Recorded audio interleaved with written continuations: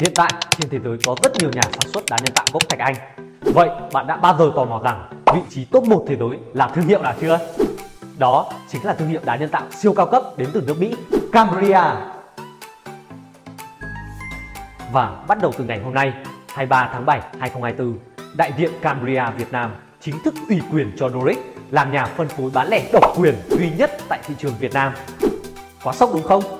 Mời các bạn cùng tham dự buổi lễ ký kết giữa Cambria Việt Nam và Doric để cùng chia sẻ niềm vui khổng lồ này cùng Doric nhé. Buổi lễ ký kết có sự góp mặt tham gia của lãnh đạo các bên, đại diện Cambria Việt Nam, công ty cổ phần thương mại và phát triển Á Âu, có ông Dương Hữu Hiếu, chủ tịch hội đồng quản trị, ông Dương Khánh Hòa, giám đốc, đại diện công ty cổ phần Tân Mộc Thạch, ông Đào Đức Anh, giám đốc kinh doanh, đại diện công ty trách nhiệm hữu hạn thiết kế và xây dựng Doric, ông Dương Thành Đạt, giám đốc. Buổi lễ ký kết diễn ra vô cùng thành công và tốt đẹp. Đại diện Cambria Việt Nam đã ủy quyền toàn diện cho Doric trở thành nhà phân phối bán lẻ độc quyền tại thị trường Việt Nam. Một trọng trách rất lớn mà Doric vô cùng tự hào và sẽ dốc hết sức để đảm nhiệm. Doric nhận thấy với chất lượng cuộc sống ngày càng được nâng cao thì Việt Nam sẽ là thị trường đầy hứa hẹn và tiềm năng cho một sản phẩm đẳng cấp như Cambria. Cambria được thành lập vào năm 1996 tại Le Sueur, Minnesota, Hoa Kỳ. Hiện nay, Cambria sở hữu hai nhà máy sản xuất tại Le Sueur và Boonville, Missouri với tổng công suất hơn 2 triệu tấn đá thạch anh nhân tạo mỗi năm.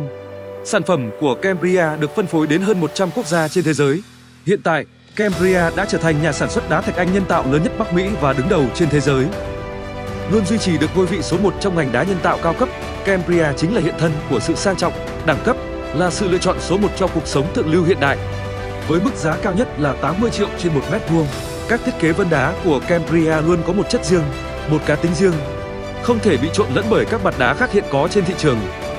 Cambria mang vẻ đẹp lung linh, sâu thẳm mà bất kỳ ai khi nhìn vào cũng đều phải ngạc nhiên, trầm trồ và say đắm. Các mặt đá Cambria nguyên tấm hiện đã được trưng bày đầy đủ tại tầng 2 showroom của Doric.